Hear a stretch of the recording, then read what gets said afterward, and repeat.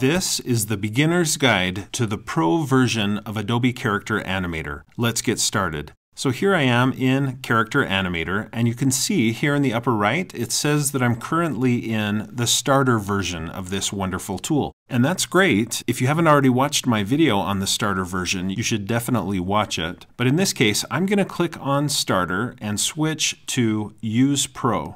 Now that I've done that, the interface changes subtly, and I get a few different characters to animate, and I also get this fantastic option of using the Puppet Maker. I'll show this at the end of this video, so make sure you stay to the end to learn about this wonderful option. But now that I've set Character Animator to be in Pro mode, I'm ready to animate one of these characters. I'm going to browse down here and I'll select this character, Tull. By clicking on Tull, it takes me to the record screen in Character Animator, and it loads the character of Tull into this scene. Now immediately, you should notice that Tull is speaking and mimicking the words that I say. So anytime I talk, Tull's mouth is moving. If I raise my eyebrows, Tull raises his eyebrows. If I look to the left or look to the right, Tull is trying to mimic me if I move my head side to side, Tull's head moves side to side. Now, how is this happening? First of all, if you look here in the upper right, you'll see that my microphone is turned on. So I do have a microphone set up with this computer, and it can hear me, and so Tull is automatically lip syncing my words.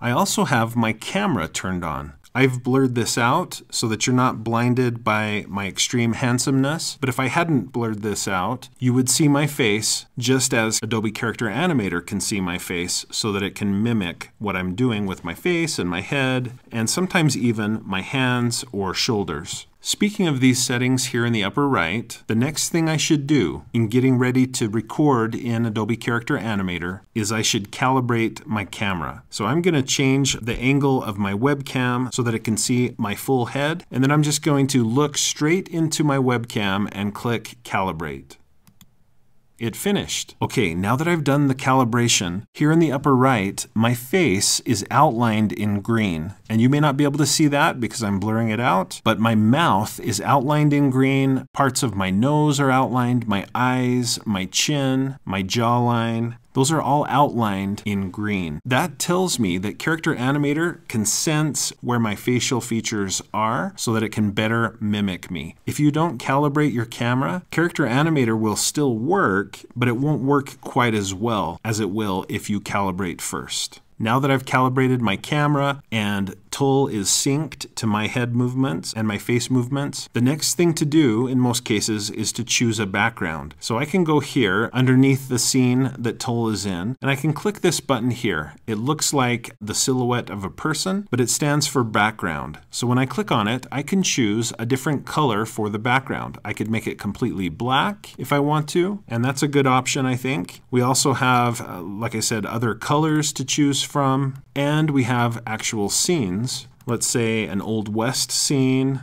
a cityscape, that's a nice background. We could have like fall colors and trees, a beach scene. So select the background scene that you want for your recording. Now it is also possible to import and use your own background. If this video proves to be popular, I'll make another video that shows you how to do that and how to set up and arrange that background image so that it works the way you want it to work in your recordings. But for now, let's just go with this beach background. Now the first first time you use the pro version of Adobe Character Animator, I'm sure you'll find it to be kind of daunting. There's a lot of buttons and options here at the right. We have some options underneath our character and background here. And we have some options here at the left. And in addition, we have a timeline. So this can be kind of daunting. It seems very difficult. But I'm here to guide you to the most crucial, most important options in Character Animator. So keep watching. You'll notice that I have a record button here underneath Tull and my background. And I could simply click this button to begin recording my animation. Before I do that though, I want to point out a couple of things to be aware of. First, here at the right, we have puppet track behaviors, and you can see that some of them have a red circle next to them and some are grayed out or maybe even not selected at all. So for example, I just turned off lip sync and now look at Tull. Even though I'm still talking, character animator can still hear what I'm saying. It's not lip syncing to Tull. So if you try to record your animation and the lip sync isn't working, that's the first thing to check. Make sure that lip sync is turned on. You may also want to check to make sure your microphone isn't muted. Same with your camera. Is your camera set up properly or is it muted, etc. The other thing to be aware of is here at the left, we have some controls for the character that we've selected and you can switch between controls and triggers. If you browse through the triggers or the controls, you'll see various ways in which you can change how the character behaves on the screen. So for example, if I tap the number one, then Tull gets a little melancholy. He squints, and this is a toggle. So if I tap one again, he goes back to being his cheerful self. If I tap two, he really gets upset. If you tap three, you can see he closes his eyes part way. Four is kind of happy and blissful. Five is similar. That stands for impressed. We've got six. Now, notice with six, with a frown, Tull stops lip syncing. So that's something to be aware of and to watch out for. You can tap frown, but don't leave it on very long. We have a whole bunch of other controls to think about and use. J makes Tull question all of existence. A makes him laugh. D is just heartbreaking, but again, he's not lip syncing me. So if you're going to use these controls, you need to learn which ones stop the lip syncing and which ones continue the lip syncing. The F key makes Tull break down and cry, and we could go on and on. There's all sorts of options. Here's my favorite, that's H. This is Tull in Love. I'll tap H again to turn off that toggle. Underneath the different facial expressions and emotions, we have arm movements. So I can tap Z to let Tull rest his arms. Tapping C makes Tull wave. Tapping Y is another hand movement, which in some countries is not a good thing to do. The country in which I learned Spanish, this is a kind of a vulgar hand motion, but Adobe may not know that. I tap L and Tull puts his arms up to the side. And so there's all of these wonderful options for arm movements, hand movements, and for facial expressions. Now, if you go to triggers, you'll see some of those same options, but without the visual to help you know what it's going to look like. We can outstretch Tull's arms by tapping O. We can have him growl by tapping G. So it's really most of the same options, but in a list form rather than with icons showing what the character is going to do. Okay, I'm ready to record. I'll just press this record button. I get a countdown, Hi students, welcome to a new year of Spanish. You're going to love this school year. It's going to be amazing and it's just going to be a joy to behold. That's why I say you're going to love it. So get ready to learn all sorts of amazing new vocabulary and grammar to help your Spanish to improve just dramatically. Let's have a great new year of Spanish. Okay, I'm going to press this stop button to stop my recording. And Adobe Character Animator now puts here on the timeline all of the movements that I did with the character, the controls, also my audio. It's all here on the timeline. Now, during my recording, you may have noticed that toward the end, I clicked on Tull's hands and made his hands and arms move. And I should have told you that before I pressed record, but it is possible to pose your character's arms and hands as you're speaking just by using the mouse. Okay, so what I've taught you in Adobe Character Animator, those are the basics. That's really all you need to know to create your character animations in the Pro version of Adobe Character Animator. And this is real-time animating. Just think about how amazing that is, that you can create these animations without hours and hours and hours of tedious work. It's amazing. So at this point, if you're happy with your animation, all you need to do is look up here in the upper right and click on this quick export button. I'll show you the details of that in just a minute. But once you've exported your animation, you're good to go. You're done using Character Animator. But I want to take your knowledge of Character Animator a step or two further. So I hope you'll continue watching. And remember, at the end, I'll show you how to use the Puppet Maker to create your own custom characters. But let's take your knowledge of Character Animator a couple of steps further. Here on the timeline, you'll notice that almost every element of this recording and of the animation can be edited or or moved. If you look down here, there are these little vertical green lines. And if I zoom in using this slider here, you'll see that each vowel or consonant that Character Animator sensed from my voice is listed here. And I can delete any of this to fine tune the lip syncing and the animations of this video. Not only that, but I can change how the arms moved, how the eyes reacted. This timeline is all very editable. In my case though, the only edit I want to make to the timeline is that I kept recording a little too long. If I put this blue playhead toward the end of my recording and press play, you'll hear what I mean. Okay, I'm going to press this stop. I want to get rid of the end of this recording because it's not really relevant to my Spanish students. So to do that, there's a few ways I could accomplish it, but I'm just going to make sure that the playhead is where I want the scene to end, and I'm going to right click on the playhead here and choose Set Scene Duration to Playhead.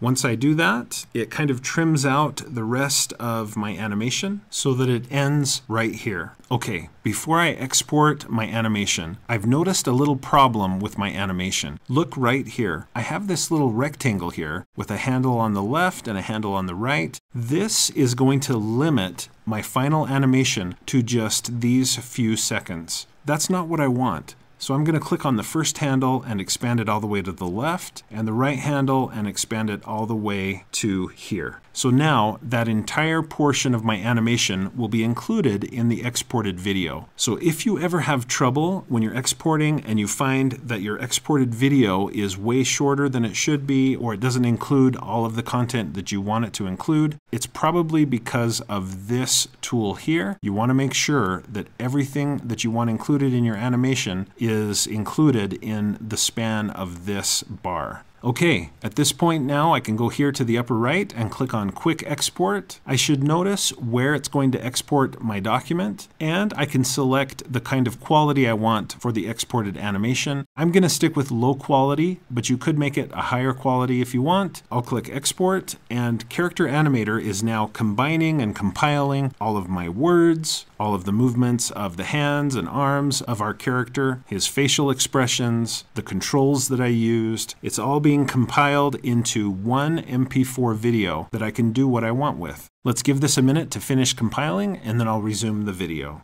Okay, Character Animator has finished exporting my video. Here's the final product. Hi students, welcome to a new year of Spanish. You're going to love this school year. It's going to be amazing and it's just going to be a joy to behold. That's why I say you're going to love it. So there's the low quality animation that I produced with Adobe Character Animator. So keep in mind, it could have been even better, more crisp, more beautiful than it currently is. So that's what it takes to create a character animation in the Pro version of Adobe Character Animator. Simply go here to the Home button, select your character, that will take you to the record screen where you make sure that the lip sync is turned on. You do need to calibrate your camera, make sure audio is turned on, get ready to use some controls and to click and drag on the hands of the character, and then make sure that your background is chosen the way you want it to be, and then click record. After you record, do a quick export, and you've got a video. At this point though, I want to direct your attention here to the upper left. We do have some other buttons. There's a stream option that lets you live stream your character. I may show that in a future video. We have the record screen that I already showed you earlier. We have a rigging screen. This is a very advanced feature that can change how the character responds to your face, to your other movements, and then we have the home button. So if I click on that home button, it takes me back to the Puppet Maker. And I'll do a full separate video on the Character Animator Puppet Maker, but just as a quick preview, I'm gonna click Open Puppet Maker because the one thing about Character Animator that's not ideal is that it only gives us 25 or 30 different characters. What if I want a character